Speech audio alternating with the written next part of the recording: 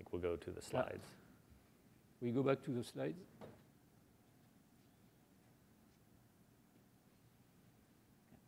Just, yeah. Go next. Let's go. Perfect. Uh, hi, I'm John McGowan. I am a product manager at TextHelp, and I'm really excited to be here. Thank you all for inviting me over. Um, so a little bit about what is TextHelp. So I love these pink shirts, which is our branding. I wear them all the time, and my sales team laughs because they think that's all I wear. And so if they see a picture, they'll agree with that. But really, TextHelp, we're a software company, but we're an accessible technology company, mainly rooted in education. So in the advent of ubiquitous devices, we work, our core education group works with students with disabilities. For instance, much of the stuff that, that's text on the computer is really difficult for students who have dyslexia or other learning difficulties with digital screens. So we read things aloud and a variety of other accessible technology tools. Uh, our main flagship product, Read and Write, now has 10 million users in education worldwide. Um, that's grown from last year at this time. I just changed the slide. We had four and a half million. So it's uh, really great growth, and our dev team is amazing. And uh, I really can't say enough about uh, how awesome that growth has been. I just joined TextHelp last year. I was a math teacher, and I was really trying to use one-to-one -one in the classroom, and it's really difficult to make math. And uh, I learned how to code and made a Google add-on that got really popular just to make my students be able to work digitally. And then TextHelp brought that in, and we're trying to make math accessible. And so really that's what we're talking about now, which is a new product we launched called Equatio. Uh, so this one's kind of like uh, my baby. I actually have a daughter who's about the same age as my coding ability. And so uh, I hate to say this like my baby, but um, really it's the heart for me is to allow students to respond. Uh, the more I, I, was a teacher for 15 years, and as my career prolonged, I realized it was less math was less about that computational thinking and getting the problem correct, and more about communicating and telling me what is your thought process, what was your solution method, can you think of it a different way, and all of these is really just a communication tool. And so that's the heart of TextHelp as a company is to communicate and empower students to be able to give their thought process no matter which way they're interacting with things. And so that's really what we took that heart when we are developing Equatio. So we wanted to be able to make it easy to use. Currently, if you want to make math online, it is, takes forever. Uh, when I was, I was teaching at a school in Singapore, I'd ride the bus to school. I could write my problem sets in 15 minutes, and then I would spend an hour and a half typing them up to give them, make them digital for my students. My co-teachers would always say, why don't you just make a copy of that and print it out to them and give them back to them? And I, real, I was telling them that these students work in this digital age. Like that method doesn't engage them to learn. Why do we not harness the power of this technology? And they kept saying, well, my students don't want to take the time to learn the equation editor.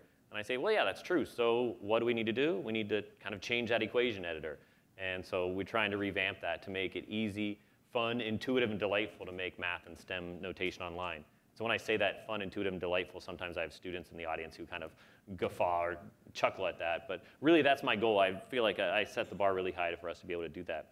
We built it on this thing called Universal Design for Learning framework. So I actually didn't really understand what that was through most of my career, and more and more when I was starting to talk with TextHelp about how to make math accessible with my product, then they, and they brought me on, and I realized that Universal Design for Learning is just good teaching skills. Like each of us prefers to learn and take in information in a specific way, and then we also like to share it in a specific way as well. I'm a very visual learner. When I, I didn't, didn't learn that until I was in graduate school, and I started trying to take notes as I was watching, and I realized if I was taking notes at the same time, when my professor was done, I would understand none of what he was saying, but I'd have a paper full of notes there. So it was much more powerful for me to bring a video recorder, set it on my desk, and just sit there and watch the professor talk, and then later on I could go back and watch the video as well and then take some notes that I needed to. So that method of my learning style is something that each student has, and I feel like most of us are missing. Most students who struggle in math or science and all the other STEM fields might not learn in the way that the teacher is teaching. And so what we need to do is kind of break that down, and the UDL framework says students can have choices in how they want to respond. If they want to give speech input, awesome, let's allow them to do that. If they want to handwrite their notes and use that physicality, let's let them do that but we don't want to dictate how the student responds based on the input that the teacher is willing to accept. And so that's kind of what Equatio does, is it, it's that digital bridge. So if you want to speak it, awesome.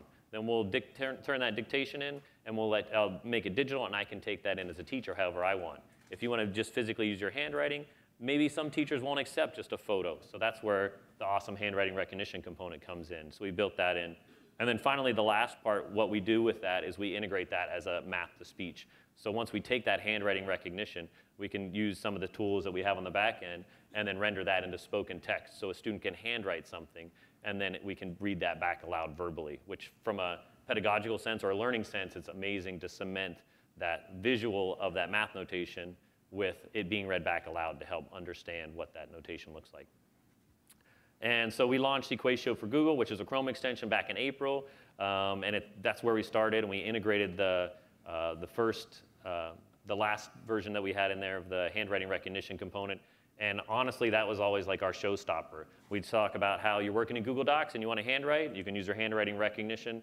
And then we have a lot of salespeople that do demo slams, and sometimes they'll like just mic drop and walk off after that component because they hear audible gasps from teachers just seeing that handwriting get recognized. Um, but we wanted to make it a little bit more interactive, and that's when we heard about the iInk and the, S- the, the new SDK, and it just for us has been awesome. So uh, we launched almost a new document type about a month and a half ago that incorporates a lot of these different ways of uh, interacting to allow the students to have that flexibility to respond however they choose to and have a bigger space to do that with. And that's where um, we, we integrated the new iInk SDK, and we're excited to show that. So I'll go to, I'll try to do a live demo now, and so we'll see how that goes um, on here. So one of the ways we have is this is a great, uh, a great big uh, canvas area. So we have four tools down on the bottom, which worked in the same with our Chrome extension. We also, it's kind of like Netflix. We have a, uh, an app that you can install on Windows and Mac as well to just allow you to uh, incorporate all of these input methods. So one of the main things we do is we use an alternative way as well. We use prediction. So you can put some math in there. So previously, if I wanted to make this structure, it would take a long time. I'd have to think about, do I want to make a fraction first? Uh, what do I do with that superscript? How do I make those things?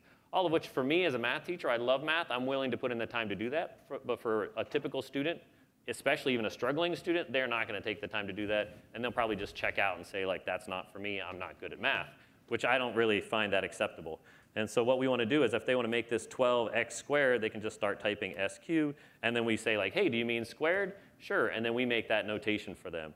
And so they can even just say, like, over and then 8 uh, xy cubed. So you can just translate that part between the notation and the terminology.